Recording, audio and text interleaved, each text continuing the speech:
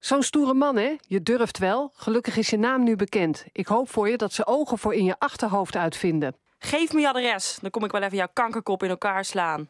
Wacht maar tot wij komen. Kijken of je dan nog aan onze vlag durft te komen. Mensen gebruiken sociale media vooral om op een nogal agressieve manier standpunten naar voren te brengen die, die voor de ontvangers eh, griezelig tot en met zelfs ronduit eh, bedreigend zijn.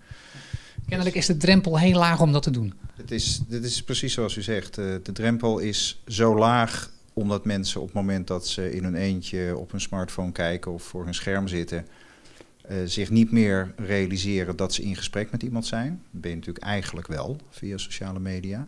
Maar in een normaal gesprek staat er iemand tegenover je. En die kijkt op een bepaalde manier of die lacht of die doet, nou kom op, eh, rustig maar. En dat is natuurlijk niet zo als jij met je toetsenbord in de weer bent of met je, met je tablet of smartphone in de weer bent. Dan lijkt het alsof je alles maar kunt zeggen. En dat is eh, precies wat er gebeurt. Het, het oeverloze van eh, sociale media noemen wij dat vaak in mijn vakgebied.